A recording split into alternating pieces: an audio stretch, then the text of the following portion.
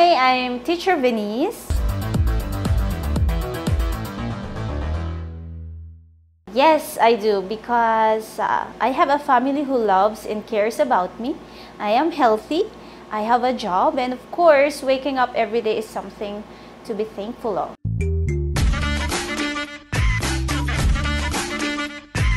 During my free time, I usually watch movies and play with my two-year-old son.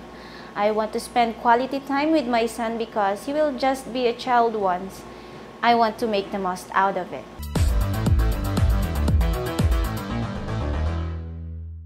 I consider my mobile phone as the most important thing in my bag because it has all the things I need throughout the day. For example is the calendar, alarm clock, camera, SMS, and browser to surf the internet.